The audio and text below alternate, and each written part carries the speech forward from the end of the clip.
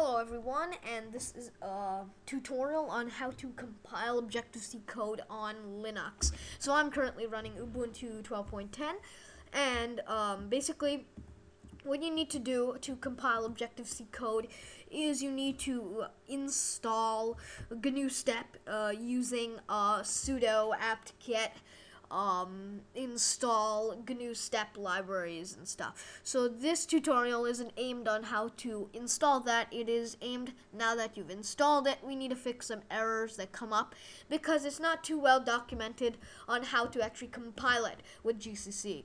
So basically what I did was I wrote a simple shell script um, called objc build and I'm going to vi edit it so that you can see um, what is inside. So you see this is basically what you need. You can copy this um, and use it to run, but it's kind of tedious, so I made a shell script. So then I just need to input my uh, program name and it will build it.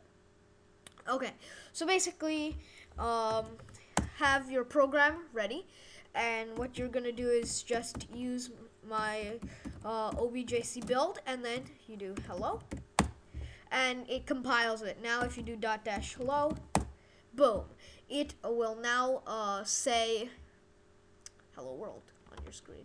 And that is how you basically compile Objective-C code on Linux.